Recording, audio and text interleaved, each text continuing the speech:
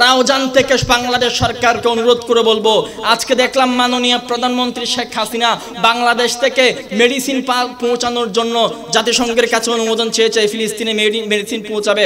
অন্য বিষয়ে শেখ হাসিনার বিষয়ে আমি কথা বলব না।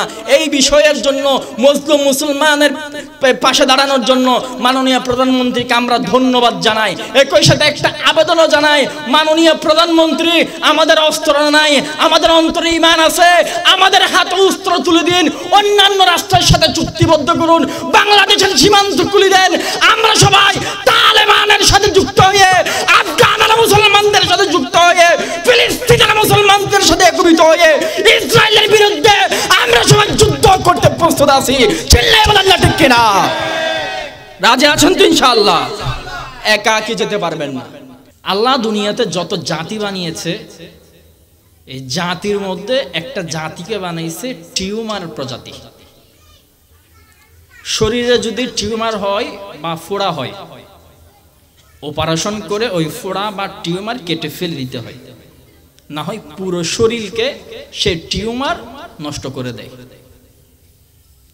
আল্লাহ পাক রব্বুল আলমিন পুরো মানব জাতির জন্য প্রাণীকুলের জন্য যাদের প্রাণ আছে, প্রাণ বিশিষ্ট সমস্ত উম্মাহের জন্য একটা টিউমার প্রজন্ম বানিয়েছে। এই টিউমার প্রজন্মের নাম হলো ইহুদি জাতি। কি নাম? এটাকে যত দ্রুত কেটে ফেলে দেওয়া যাবে, যত সমাজ থেকে মাইনাস করা যাবে, যত পিটিয়ে সোজা করা যাবে, মাটির উপর থেকে উপর থেকে যত দ্রুত মাটির নিচে নিয়ে নেওয়া যাবে পৃথিবীর গরু, ছাগল, হাঁস, মুরগি তত বেশি নিরাপদ বোধ করবে, ঠিক কিনা? এটা টিউমার প্রজাতি। এজন্য কোরআনের এলান এসেছে, ইহুদিদের কখনো নিজস্ব কোনো ভূমি হবে না। এটা সারা জীবন যাযাবরের মতো থাকবে। যাযাবর কাদেরকে বলা হয়? আপনারা বুঝবেন, কতগুলো আগেকার জামানে আমরা ছোট্টকালে দেখেছি, যাদেরকে ব্যারেজ্যে জাতি বলা হতো, গ্রাম্য ভাষায়। কাদের মধ্যে পুটলা নিয়ে, গাঠি নিয়ে ওই এলাকায় গিয়ে দশ দিন, ওই এলাকায় গিয়ে দশ দিন থাকে। এদের কোনো স্থায়ী বসবাসস্থল নাই। এদেরকে যাযাবর বলে। যেখানে যেদিন তো যতদিন থাকতে পারে, ততদিন থাকে। কেউ এসে লাথি মেরে বের করে দিলে বের হইয়া আরেকজনের জায়গা দখল করে। এই ইহুদি জাতি হলো এরকম। সারা বিশ্বের জন্য যাযাবর জাতি ইসরায়েল থেকে এখন তারা নিজেদের আত্মপ্রকাশ ঘটাচ্ছে। ইউরোপ, আমেরিকা, আরব থেকে সমস্ত যাযাবর টিউমার মার্কা প্রজাতির ইহুদিরা বের হয়ে ফিলিস্তিনের নিরহ মুসলমানদের রক্ত খেয়ে খেয়ে মুসলমানদের কেন্দ্রভূমি বাইতুল মুকাদ্দাসকে দখল করেছে, ঠিক কিনা? এটা হচ্ছে যাযাবর প্রজাতি। ইহুদিদের মধ্যে মোটা দাগে দুইটা প্রজন্ম আছে। অনেকে মাহফিলে, ময়দানে, ওয়াজে বয়ানে অনেক ওলামা আমরা বলে থাকে যে ইহুদিদের মধ্যে কোনো এখতালাফ নাই, এদের মধ্যে কোনো মতানৈক্য নাই। এ কথা সহি না। অনেক বক্তা বলে যত মারামারি, সবটা মোল্লাদের ভিতরে, যত ইখতিলাফ যত কামড়া কামড়ি সবটা আলেমদের ভিতরে, সবটা মুসলমানদের ভিতরে, এটা বলে বলে অনেকে আক্ষেপ করে থাকে। সত্য কি জানেন? সত্য হলো, সবচেয়ে কম মারামারি, সবচেয়ে কম এখতালাফ আছে, সেটার নাম হলো উলামায়ে কারাম মুসলমানের জাতি। দেখবেন মসজিদের কাতারে রাজা আর প্রজা, ধনী আর গরিব, সামার আর তামার। বেদাবেদ নাই, নিম্ন শ্রেণির আর উপর শ্রেণির সমস্ত মানুষকে এক করে দেয় আল্লাহর দরবারের সিজদার কাতার সমূহ ঠিক কিনা? মুসলমানরা সবচেয়ে বেশি এক, ইউনিটিপূর্ণ। আলেম ওলামাদের এখতলাফ সবচেয়ে কম। বলে হুজুর সবচেয়ে বেশি দেখা যায়, কারণ সেটা আমরা সবচেয়ে বেশি প্রেজেন্ট করি, প্রকাশ করি, এজন্য দেখা যায়। বস্তুত অন্যান্য প্রজাতির চাইতে আমাদের জাতের মধ্যে এখতালাফ বহু কম। আপনারা মনে করতে পারেন, আমি সবচেয়ে সুন্দর একটা উদাহরণ দিই, হিন্দু জাতি। এদের না হয় ধরে নেন না। হিন্দুদের মধ্যে এক হাজার না হয় দুই হাজার জাত পাবেন। এক জাতের মতো আর এক জাত হিন্দু না। এরা পাড়ায় পাড়ায় ভিন্ন ধর্ম পালন করে। এই যে পাটা জবাই করে না বাংলাদেশে? এটা আপনি কলকাতা বা ভারতের অন্য কোথাও পাবেন না, শুধু বাংলাদেশে পাবেন। এই যে দুর্গা পূজা বা কালী পূজা আছে না, এটা শুধুমাত্র কলকাতা আর বাংলাদেশে পাবেন। পুরো ভারতবর্ষের কোথাও এই পূজা পাবেন না। ওরা বলে যে এটা বেদাত। মানে ওদের ধর্মে বেদাত। এদের ধর্মের মধ্যে কত প্রকার যে ইখতালাফ আছে। এই ভিতরে আপনি ঢুকলে বলবেন যে, ভাই, আলহামদুলিল্লাহ মুসলমান হয়েছে আল্লাহ আমার মুসলমান বানাইছে। এত বড় একতালাফ থেকে বাঁচাইছে। চিল্লাই পড়েন, আলহামদুলিল্লাহ। এইরকম একতালাফ ইহুদিদের মধ্যে মুসলমানের চাইতে হাজার গুণ বেশি। কেন এই একতালাফ উদাহরণ দিলে বুঝবেন। হিটলার জার্মান থেকে ইসরায়েলিদেরকে, অর্থাৎ ইহুদিদেরকে বিসমিল্লা সারা জবাই করছে। আপনারা জানেন, ষাট লক্ষ ইহুদি হত্যা করছে। যদি সে ইমানদার হতো, তার জন্য আমি আজকে দোয়া করতাম। কয়েকটা ইহুদি ছাইডা দিছে। কয়েকটা রাইখা দিলাম। এগুলি কি পরিমাণ দুষ্ট তোমরা দেখবা? দেখতেছি। এত পরিমাণ দুষ্ট। এরা ইউরোপ থেকে দলে দলে বের হয়ে গেছে। ইহুদিগুলো পৃথিবীর কোথাও টিকতে পারতেছিল না। বেশ কয়েকটি রাষ্ট্রে তারা নৌকা, শিপ, জাহাজ নিয়ে তাবু গেড়েছে। ওইখানকার মানুষ তাদেরকে লাথি মেরে বের করে দেয়। পরে জাহাজের উপরে ব্যানার লাগাই দিছে। লাগিয়ে ফিলিস্তিনের নৌবন্দরে এসে তাদের জাহাজটা বিড়াইছে। ওই ব্যানারে লেখা আছে, সারা পৃথিবী থেকে লাথি খেয়েছি হিটলার আমাদেরকে দাফন করে দিয়েছে। মুসলমানের দস্তরখানে এসেছি। তাদের অনুগ্রহ, মেহমানদারি আমরা কামনা করতেছি। অনুগ্রহপূর্বক তোমরা আমাদেরকে নির্যাতন করবা না, আমাদেরকে একটু মেহমানদারি করো, আমাদেরকে একটু থাকার সুযোগ দাও। ফিলিস্তিনের মুসলমানেরা তাদেরকে মেহমানদারি করল, নিজেদের ভূমিতে রাখল। এই মেহমানদারিটা দেখল আরব্য ইহুদিরা। এত সুন্দর মেহমানদারি ফিলিস্তিনে? এইটা দেখে ফিলিস্তিনে এখন চতুর্পাশ থেকে ইহুদিরা জমা হতে থাকল। ইউকে থেকে ইহুদিরা ইসরায়েলে আসতে শুরু করল। জার্মান থেকে আসতে শুরু করল। ফ্রান্স থেকে আসতে শুরু করল। ইউরোপের বিভিন্ন কান্ট্রি থেকে আসা শুরু করল। আমেরিকা থেকে আসা শুরু করল। আরব্য ইহুদিগুলো আসা শুরু করল। ছত্রিশ রাষ্ট্রের, পঞ্চাশ রাষ্ট্রের সমস্ত ইহুদিগুলো এসে জমা হলো ফিলিস্তিনের বাইতুল মোকাদ্দাসের প্রান্তরে বর্তমানে ইসরায়েল নামক স্থানে। এই কথাটা বোঝার জন্য একটা দেশীয় উদাহরণ দেই, তাহলে বুঝবেন। এই জায়গার যদি কেউ নোয়াখালীর মানুষ থাকেন, বরিশালের মানুষ থাকেন, রাগ করবেন না। উদাহরণ বশত বলছি। আমাদের চট্টগ্রামের মানুষ সবাই মুসলমান, নোয়াখালীর মানুষও মুসলমান, বরিশালের মানুষও মুসলমান। কিন্তু একটু উনিশ বিশ হতে না হতেই এই নোয়াখাইল্লা বলে গালি দেয়। দেয় না? অথচ নোয়াখালীরগুলো মুসলমান। এই বরিশাল্লা বলে গালি দেয়। বোঝা গেল মুসলমান হলেও জাতের মধ্যে একটু হিংস্রতা, একটু তফাত ভেদাভেদ আছে না নাই? বাংলাদেশের মুসলমানদের মধ্যে যদি আচরণগত এই তফাত থাকে, তাহলে পঞ্চাশটা রাষ্ট্র থেকে ইহুদি যদি একটা রাষ্ট্রে জমা হয়, তো সেই ইহুদিগুলোর মধ্যে আচরণগত এক প্রজাতি থেকে অন্য প্রজাতির তফাত আছে না নাই? এই জন্য এদের একতালাপ সবচেয়ে বেশি। একশোটা রাষ্ট্রের ইহুদি যখন এক জায়গায় জমা হলো এদের একে অপরের বিরুদ্ধে লেগে গেছে। বর্তমানে ইহুদিদের মধ্যে যে ঝগড়া, যে বিবাদ আছে, এটা পৃথিবীর অন্য কোনো প্রজাতির মধ্যে নেই। ফিলিস্তিনের মধ্যে এই মুহূর্তে ইসরায়েলি সেনারা আক্রমণ করতেছে, আপনারা দেখতেছেন। আমি নিউজ চোখে একটা ভিডিও এমনও দেখেছি, ইসরায়েলের অধীনস্থ ইহুদিরাই আবার তাদের ইহুদিদেরকে পিটাচ্ছে, তোমরা ফিলিস্তিনে আক্রমণ করিও না, এই দাবিতে। তাহলে এরা এরা মারামারি আছে। আছে তো আছে আবার ইসরায়েলিদের, ইহুদিদের মধ্যে যারা নেককার আছে, এই নেককারগুলো তাদের স্ত্রীদেরকে এমন পর্দা পুশিদা করায়, এত বেশি নেককার যে তারা আল্লাহ বিল্লাহ মানার মতো মানে। আমাদের বিবিদের, আমাদের মা বোনদের চোখ হলেও দেখা যায় পর্দার ভিতর থেকে। এরা এদের বিবিদের এমন ভাবে চালায়, চুল পর্যন্ত দেখা যায় না, চুল, চোখ দেখা যাবে বহুত দূর কি বাদ এখনও পর্যন্ত ইসরায়েলের কিছু কিছু মানুষের মতে আরব্য ইহুদিরা, প্রকৃত ইহুদি না তাই এরা একে অপরের বিরুদ্ধে করে। আমি বুঝাতে চাচ্ছি এদের ভিতর অনেক একতালাফ এই একতালাফগুলো বাদ দিয়ে মোটা দাগে ইহুদিরা দুই দলে বিভক্ত। কয় দলে? এক দলের নাম সাধারণ জেনারেল ইহুদি, যারা ইহুদি ধর্মের নেককার। আর এক দল ইহুদি হচ্ছে এদেরকে ইংরেজি ভাষায় বলা হয় জায়নিস্ট।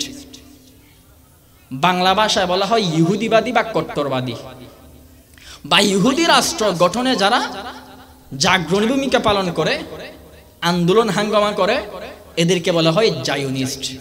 এই যে ইসরায়েলের বর্তমানে যারা ফিলিস্তিনে হামলা করতেছে, যারা মুসলমানদের রক্ত সকাল বিকাল শরাবের মতো করে পান করতেছে, এগুলো সবটাই কট্টরবাদী ইহুদি, সবটাই জাইনিস্ট আর জাইনিস্টের সিংহভাগ আমেরিকান অথবা ইউরোপিয়ান ইহুদি। আমি এই কথাগুলো বলার পেছনে একটা কারণ আছে। অনেকে বলে ইহুদিদেরকে পৃথিবী থেকে উদাও করে দেবে, পৃথিবী থেকে সরিয়ে দেবে। মুসলমানের অনেক বক্তারা আমরা বলে থাকি। এগুলো এমনি বলি আপনাদেরকে আশা দেওয়ার জন্য, আকাঙ্ক্ষা দেওয়ার জন্য। হাকিকতে বস্তুত পৃথিবী থেকে ইহুদিদেরকে ধ্বংস করা সম্ভব না। পৃথিবীতে এই মুহূর্তে এক কোটি সত্তর লক্ষ ইহুদির বসবাস। আপনি জানেন কিনা আমি জানি না? এর মধ্যে শুধু নব্বই লক্ষের বসবাস ইসরায়েলে, সত্তর লক্ষের বসবাস আমেরিকাতে। আমেরিকার যত সম্পদ, ওয়াশিংটন আর নিউ ইয়র্ক সিটির যত সম্পদ সমস্ত সম্পদের ফিফটি পার্সেন্টের মালিক এই সত্তর লক্ষ ইহুদি। বাকি আমেরিকার পঞ্চাশ পার্সেন্টের মালিক হলো তাদের পঁয়তাল্লিশ কোটি খ্রিস্টান। চিন্তা করেন ইহুদিরা কি পর্যায়ের ধনী। শুধু ধনী না, ইহুদিরা পৃথিবীর মধ্যে সবচেয়ে ব্রিলিয়েন্ট জাতি, সবচেয়ে মেধাবী জাতি। আলবার্ট আইনস্টাইন, রবার্ট অপেনহাইমার সহ বড় বড় বিজ্ঞানী যারা দুনিয়াতে গেছে সবটা ইহুদি। পৃথিবীর বুকে বড় বড় ব্যবসার প্রতিষ্ঠান যত আছে Dell company Intel company Microsoft company Nido company এই যে ম্যাগি ম্যাগি নুডলস মার্কস তারপর Pepsi Coca Cola Sprite seven up সহ পুড অজস্র অসংখ্য কোম্পানির সিও মালিক হচ্ছে ইসরায়েলিরা। আপনি আর আমি অজান্তে অবচেতন মনে এদেরকে সাহায্য করতেছি, জানিও না। বর্তমান সময়ে জিহাদের প্রেক্ষাপট চেঞ্জ হয়েছে, পরিবর্তন হয়েছে। আপনি বাংলাদেশ থেকে তো আর ইসরায়েলিদের বিরুদ্ধে বুলেট ছুড়লে তো ইসরায়েলিরা মরবে না। বাংলাদেশ থেকেও আপনি ইসরায়েলিদের বিরুদ্ধে যুদ্ধ করতে পারবেন। সে যুদ্ধের সিস্টেম হলো ইহুদি প্রোডাক্ট ইহুদি প্রোডাক্ট ইহুদিদের সমস্ত দ্রব্য আদি বর্জন করা। এদের জিনিসপাতি না কেনা। বলে, হুজুর, না কেনার দ্বারা কি ফায়দা? আপনার একটা পয়সা ওরা পাইলো না, এটুকুই ফায়দা। আপনার এক পয়সা যদি পায়, দশ মানুষের দশ পয়সা যদি পায়, দশ কোটি মুসলমানের দশ কোটি পয়সা যদি পায়, ওই পয়সাগুলো দিয়ে বোমা বানিয়ে তারা আপনার সন্তানগুলোকে হত্যা করবে, ঠিক কিনা? এজন্য সব চাইতে বড় জিহাদ হলো বাংলাদেশের মুসলমানদের জন্য ইহুদি পণ্য বর্জন করা, ইহুদি পণ্যকে লাথি মারা, ইহুদি পণ্য খাব না। দরকার পড়লে কাটাল পাতা খেয়ে ছাগলের মতো দুনিয়ার মধ্যে বসবাস করব। ফেপসি আর স্প্রাইট খাব না, ইহুদিদের কোনো পণ্য গ্রহণ করব না। ফিলিস্তিনের মা বোনদের ইজ্জত অবরোহণ করার জন্য ইহুদিদেরকে সাহায্য করব না। রাউজান এলাকার মুসলমানদেরকে বলব, ইহুদিদেরকে সাহায্য না করার জন্য, ইহুদিদের পণ্য বর্জন করার জন্য জন্য আপনারা রাজি আছেন তো ইনশাআল্লাহ? আপনাদেরকে এই সাহায্যটুকু করতে হবে। বলো, হুজুর, শুধু এই যুদ্ধ করলে তো হবে না। প্রোডাক্ট পর্যন্তের মাধ্যমে জিহাদ করলে তো হবে না। সশস্ত্র জিহাদ করব। সশস্ত্র জিহাদ তো আপনি একা করতে পারবেন না। আপনার দ্বারা সেই সম্ভাবনা ক্যাপাবিলিটি আপনার এবিলিটি নাই, আপনার অস্ত্র নাই। বরং আমি রাওজান থেকে বাংলাদেশ সরকারকে অনুরোধ করে বলব, আজকে দেখলাম মাননীয় প্রধানমন্ত্রী শেখ হাসিনা বাংলাদেশ থেকে মেডিসিন পৌঁছানোর জন্য জাতিসংঘের কাছে অনুমোদন চেয়েছে, ফিলিস্তিনে মেডিসিন পৌঁছাবে। অন্য বিষয়ে শেখ হাসিনার বিষয়ে আমি কথা বলব না। এই বিষয়ের জন্য মুসলিম মুসলমানের পাশে দাঁড়ানোর জন্য মাননীয় প্রধানমন্ত্রীকে আমরা ধন্যবাদ জানাই।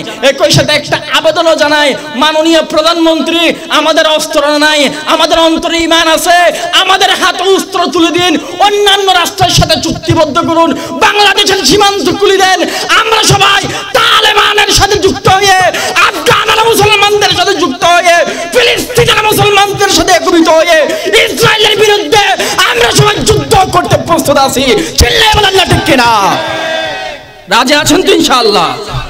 একা কি যেতে পারবেন না। সে ক্যাপাবিলিটি অ্যাবিলিটি আপনার নাই। আপনি যেতে পারবেনও না, আপনাকে আবার নাস্তিক মোরতাদরা জঙ্গি বইলা প্যাকেট করে দিবে। তাই বাংলাদেশ সরকারের অনুরোধ করব, সরকারিভাবে আমাদেরকে পাঠানো হোক। আমাদের ট্রেনিং নাই, ইমান আছে। যার ইমান আছে ট্রেনিং লাগবে না। যতক্ষণ প্রাণ থাকবে, অতক্ষণ পর্যন্ত আমরা যুদ্ধ করে যাবে ইমানের বলে। চিল্লাই বলেন না ঠিক কিনা। রাজি আছেন ইনশাআল্লাহ? আল্লাহর নবী বলেন, যার অন্তরে ইমানের যার অন্তরে জিহাদের তামান্না নাই, যার অন্তরে শাহাদাতের মৌতের তামান্না নাই, সে পূর্ণাঙ্গ মুসলমানই না।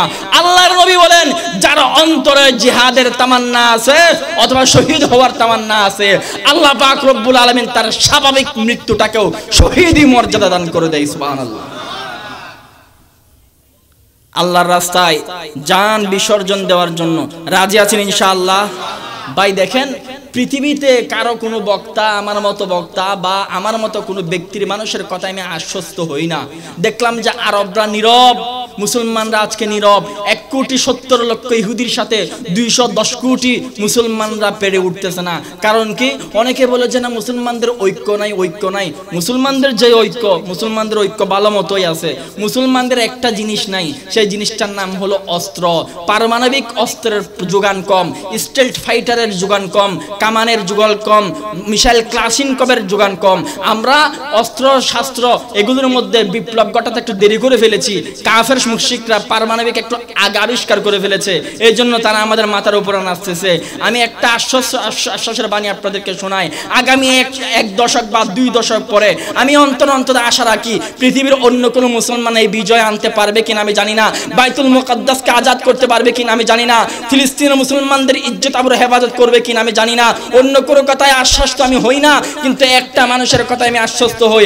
আমার অন্তর বিশ্বাস আছে, অন্তত তালেবান সরকারের মাধ্যমে হলেও একদিন না একদিন বাইতুল মুকাদ্দাস, একদিন না একদিন আজাদ হবে, একদিন না একদিন ফিলিস্তিন আজাদ হবে, একদিন না একদিন মুসলমানরা তাদের ডানা মেলে বাংলার আকাশে, বিশ্বের আকাশে ফরফর করে উঠবে চিল্লাই বলেন না ঠিক কিনা? আল্লাহ পাক রব্বুল আলমিন আমাদের জীবদ্দশায় সেই দিন দেখে যাওয়ার তৌফিক দান করেন। পড়ে না, আমিন। আমাদের এখন একটাই করণীয়, একটাই কাজ করব। সেই কাজটা কি? গভীর রজনীতে ঘুম থেকে উঠে কনকনে ঠান্ডা পানি দ্বারা উজু বানিয়ে মাথাটা আল্লাহর কুদরতি পায়ে লুটিয়ে দিয়ে আল্লাহর দরবার দুই চোখের পানি ফেলে ফিলিস্তিনের মুসলমানদের জন্য সাহায্য চাওয়া, প্রার্থনা করা, নামাজ পড়া, দোয়া করা। করবেন তো ইনশাআল্লাহ। আল্লাহ পাক রব্বুল আলামিন তৌফিক দান করেন পড়ে না আমিন।